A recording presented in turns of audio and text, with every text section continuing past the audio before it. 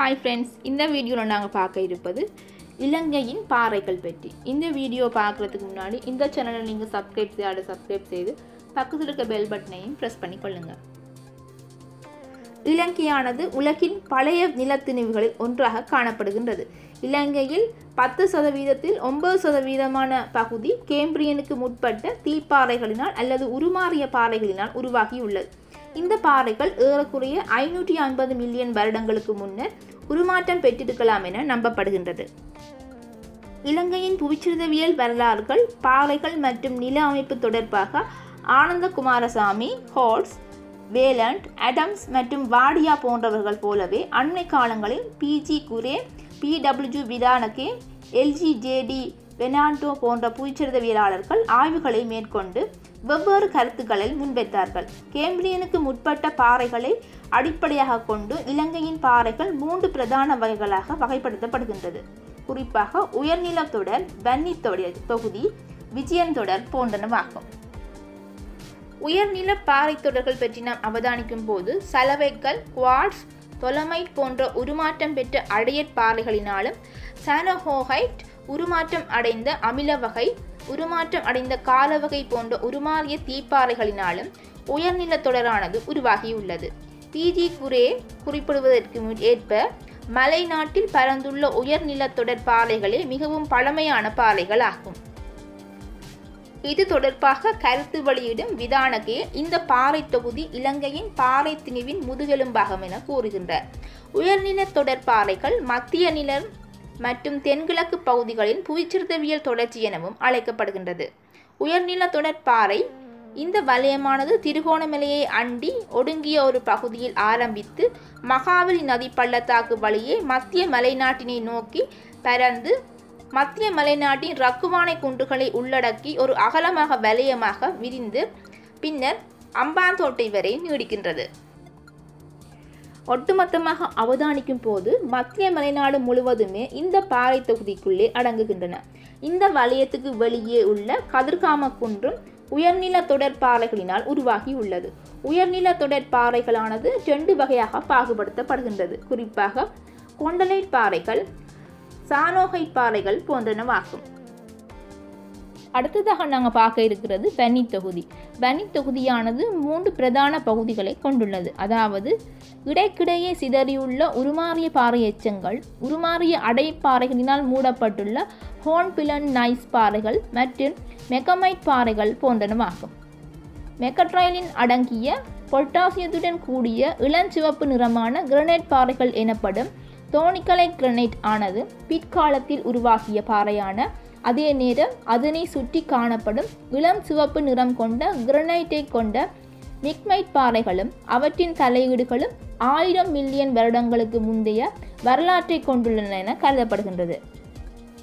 வன்னி தொடரின் வடக்கே பாரிய ஒரு பிரதேசத்தில் பரம்பியுள்ள சானோஹைட் நிலப்பாறைகள் வன்னி கிரோனோலைட் என அழைக்கப்படுகின்றது. வன்னி தொடரில் காணப்படும் பாறைகள் ஆயிரம் மில்லியன் வருடங்களை விட பழமையானது என கூறப்படுகின்றது.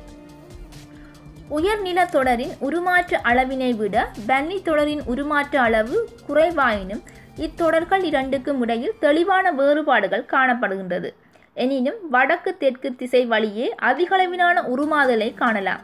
பன்னி தொடர் மற்றும் உயர்நில தொடர்களுக்கு இடையே எல்லைகளை தீர்மானிப்பதற்கு அவற்றின் இயல்பினை ஆதாரமாக கொண்டு எல்லைகளை தீர்மானிக்கலாம். ஆனால் இவ்வாறான ஆதாரங்கள் இதுவரையும் கிடைக்கவில்லை. வன்னி தொடரின் அமைப்பின் அடிப்படையில் அதன் மேற்பகுதிகள் கேம்பிரியனுக்கு முற்பட்டதாகவும் கீழ்ப்பகுதிகள் காரத்தன்மை கொண்டதாகவும் காணப்படுகின்றது. அதன் பகுதிகள் உயர்நில தொடருக்குள் தலையிட்டுள்ள சந்தர்ப்பங்களும் உண்டு. அடுத்ததாக விஜயன் தொடர் பற்றி அவதானிப்போம். விஜயன் தொகுதி உருமாறிய தீப்பாறையை கொண்டு காணப்படுகின்றது. மத்திய மலை நாட்டின் உயர் நிலத்தொடரின் தென்கிழக்கு வலயம் மற்றும் வடமேற்கு வலயம் வழியே விஜயன் தொகுதிக்குரிய பாறை வகைகளை கண்டுகொள்ள முடியும். இவ்விஜயன் தொகுதிக்கு உரித்தான வலயத்தில் மைக்ரோலைன் பயோடேட் நைஸ் பாறைகள் போன்றன காணப்படுகின்றது. இலங்கையில் மிகவும் பழமையான பாறை வலயமாக கோட்ஸ் மற்றும் வாடியா என்பவர்கள் இதனை கூறுகின்றார். விஜயன் தொகுதியினுள் உயர்நில தொடர் பாறைகள் காணப்படும் இடங்களான கதிர்காமம் புத்தளம் மற்றும் குடாஓயா போன்றவற்றை குறிப்பிடலாம். விஜயன் தொகுதி மற்றும் உயர்நில தொடர்களின் அமைப்பு ரீதியான வரலாறு சமமாக காணப்பட்டாலும் அவற்றின் தோற்றம் முழுமையாக வேறுபட்டே காணப்படுகின்றது.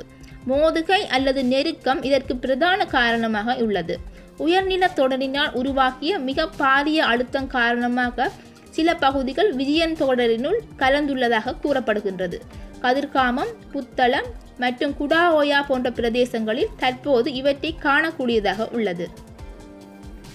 மயோசின் பாறைகள் பற்றி நாம் அவதானிக்கும் போது இவ்வாறு குறிப்பிடப்பட்டுள்ள பிரதான மூன்று பாறைகள் தவிர இலங்கையின் வடக்கே யாழ்ப்பாண குடாநாடு மற்றும் அதனை சுற்றியுள்ள பகுதிகளிலும் தெற்கே மினிக்காகல் குன்று பிரதேசங்களிலும் காணப்படுகின்ற மயோசின் சுண்ணக்கல்லானது மூன்றாம் புவிச்சிறுதவியல் காலத்துக்கு உரித்தான பாறையாக காணப்படுகின்றது.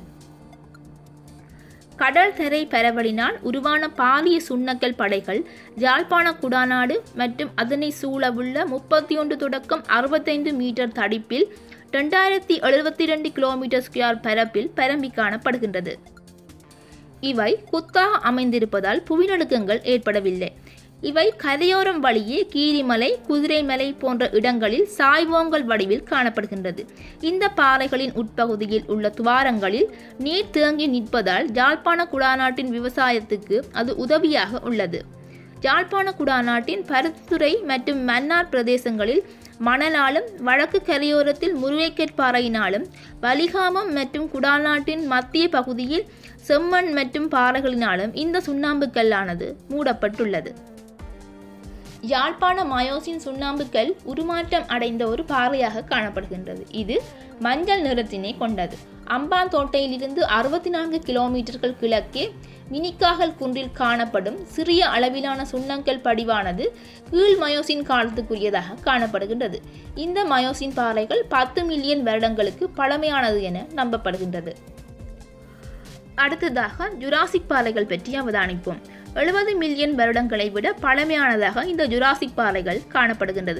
இவை சிலாபத்துக்கு வடக்கே தப்போவ ஆண்டிகம மற்றும் பல்லம பகுதிகளில் குறை வலயங்களில் காணப்படுகின்றது. இந்தியாவில் காணப்படுகின்ற கொண்டுவானா பாறைகளுக்கு சமகாலத்திலான இந்த பாறைகள் பிற்காலத்தில் மயோசின் மற்றும் நான்காம் கால படிநிகள் மூடப்பட்டுள்ளது. புவி துளையீடுகளின்படி தப்போவ படிவுகளுக்கு சமனான அடியல் படிவுகள் மன்னார் பிரதேசத்தில் மயோசின் சுண்ணக்களின் கீழே அதாவது எண்பது மீட்டர் வரையான ஆழத்தில் காணப்படுவதாக கண்டறியப்பட்டுள்ளது. மணற்கல்கள் கிரீட் கபிலம் மற்றும் கருப்பு மாக்களினால் இந்த ஜுராசிக் பாறைகள் உருவாகியுள்ளன. இந்த பாறைகளிலிருந்து பன்னத்தாவர தொகுதிகள் உயிர்ச்சோடுகளாக பெறப்பட்டுள்ளது.